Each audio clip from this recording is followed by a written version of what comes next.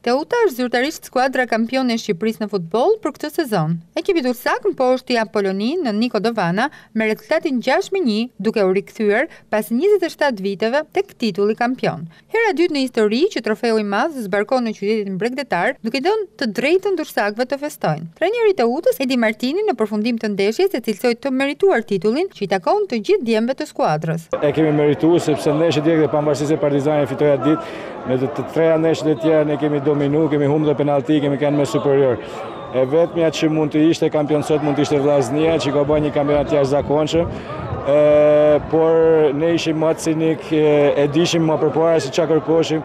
I dishim forcat e ekipit tonë dhe ashtë meritë e tanë djemve kjo që kanë bo. Teuta tashmë do të marrë pjesë në turin e parë të Ligës së Kampioneve.